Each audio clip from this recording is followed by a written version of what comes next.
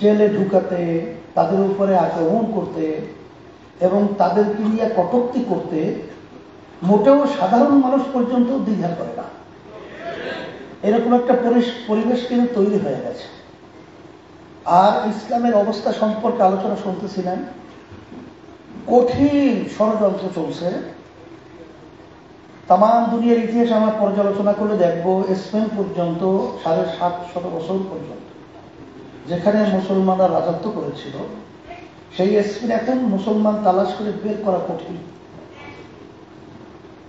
আজকে তো আমরা দেখি, আলহামদুলিল্লাহ, ওলামা একরাম জুমার দিন মসজিদের ভিতরে মুসল্লির অভাব নাই।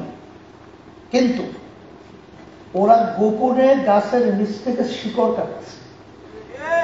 এক পর্যায়ে যখন কাজ সম্পন্ন হয়ে যাবে কাজটা আস্তে ফেলে দেবে।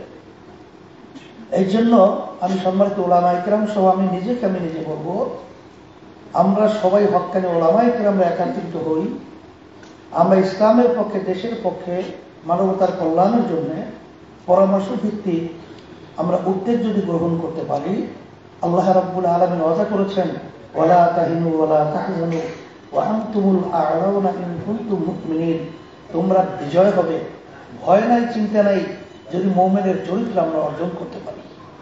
আল্লাহ রাব্বুল আলমিন আমাকে, আমাদের সকলকে বিশেষ করে আমি আয় শরীফ তেলাওয়াত করেছি, হাদিস শরীফ তেলাওয়াত করেছি, ওই দিকে লক্ষ্য রেখে আমাদের জীবন, দুনিয়াতে এবং আখেরাতের পথ, আমরা চিরজীবন শান্তিতে থাকা আল্লাহ রাব্বুল আলমিন আমাকে, আমাদের সকলকে তৌফিক দান করুক। এবং আপনারা কষ্ট করে এসেছেন। আপনাদেরকে বিশেষ করে কমিটির পক্ষ থেকে তো ধন্যবাদ জানাবি। এটা আমাদের দায়িত্ব কর্তব্য আসা দরকার। আজকে আপনারা যখন ঢাকা বাংলাদেশের রাজধানী এত ওলামাই কেন একাত্রিত হয়েছেন বাতিলদের কিন্তু ভয় কলিজা থর করে কাটতেছে তো ওদের কলিজার ভিতরে ভয়ের আগুন ধরিয়ে দিতে হবে। আজকে বাতিলদের প্রস্তাবকে ঠেকে নিক্ষেপ করতে হবে।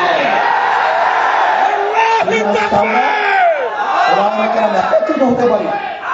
আমার মর বলছে, বাতিল, যত শক্তিশালী হোক কঠোরই বাতিল শক্তিরে দাঁড়াতে থাকতে পারবে না এই আশাবাদ ব্যক্ত করে আপনাদের সবাইকে ধন্যবাদ জানিয়ে আজকে আলোচনা শেষ রাখছি। আর দুই হাজার একুশ বাইশ শেষ হলে কোন সাল ছিল। সেই কমিটিকে আমরা বিলুপ্ত ঘোষণা করছি। নতুন কমিটি এবং উপদেষ্টা কমিটি আমরা ঘোষণা করতেছি। আলহামদুলিল্লাহ।